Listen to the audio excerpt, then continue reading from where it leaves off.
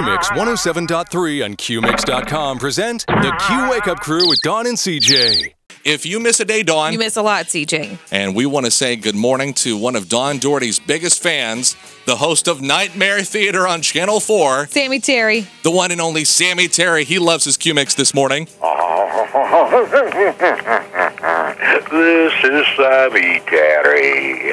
Join me for a horrible time on Q-Mix at Columbus, Indiana. You'll feel terrible. Oh, man. You need to get rid of that nasty mask, by the way. Good morning, Q Mix. I tell you what, I'm sick and tired of, CJ. What's that? Watching them daggone Colts. Oh, no, that's what CJ was going to say. He had the paper in front of him. No, yeah, it's awful. I mean, they gave up how many yards yesterday? Like 497,000, something like that. Yeah, 92.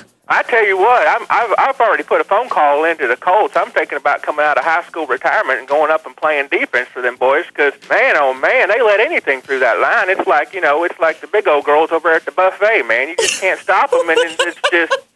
Before you know it, there's nothing left of the game. There's nothing left of the turkey, the ham, whatever. Guess who's going to be performing at the Super Bowl halftime show this year? Prince. Yes. Isn't that exciting? No. He's wearing my shoes just for the event. I have he's so tiny. he has better shoes and hair than I do. Um, Rosie O'Donnell has slammed rumors that she is going to leave the View.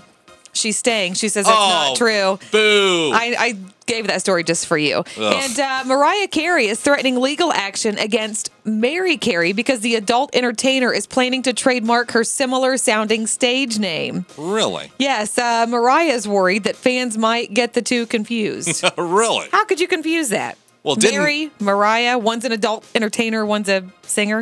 On the phone this morning is Hetty Bateman of Columbus. Her mom is in desperate need this Christmas season. Hetty, tell us all about your mom. Last few years she's been a hard worker but uh, my dad he came down with cancer and we lost him in september with all the stress and dealing with him and the financial stuff it threw her into shingles. And after the shingles she came down with um, lupus and fibromyalgia so she couldn't go back to work because the doctors disabled her because of the arthritis. And she's been trying to get disability and they keep turning her down. Most that she needs in her home is a refrigerator because hers freezes all of her food that she buys. It's just old. She's had it for a long time. She's my best friend, and I just want the best for her because I lost my dad, and I just don't want her to get so sick and worry about everything because I don't want to lose her too. Well, Hetty, I have some great news for you. Thanks to Aaron Sales and Lease Ownership on National Road in Columbus, they have a refrigerator for your mom. That'll be a blessing for her. I just can't wait to see or hear her reaction. She'll be pleased. She'll be dancing for joy. Thank you very much.